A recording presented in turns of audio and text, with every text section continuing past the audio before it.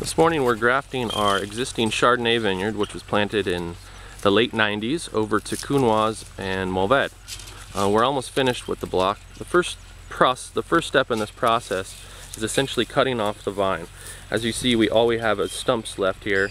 Uh, we cut off the vine, let the, the vine bleed for a few days, and then what we'll do is we'll actually place the new bud of the new variety into the existing vine. Um, I can show you up close as we graft the next vine. You can see on the top there, this vine's bleeding a little bit because it was just cut the other day. That shows there's a little bit of sap flow still and the vine's still alive and happy. Now as we cut into the vine, first we remove the bud off of the scion, off of the, the grafting stick that we use, which is Counoise.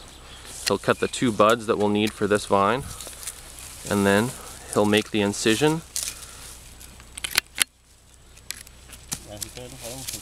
on each side. After that incision's made, he then places that bud directly into that cut. Now he matches up the vascular tissues, the, the xylem and the phloem, and once that bud calluses, it will start growing that new variety. And then we wrap it with tape to protect them and hold them in place. And now we have a Counoise vine, which a few days ago was a Chardonnay vine.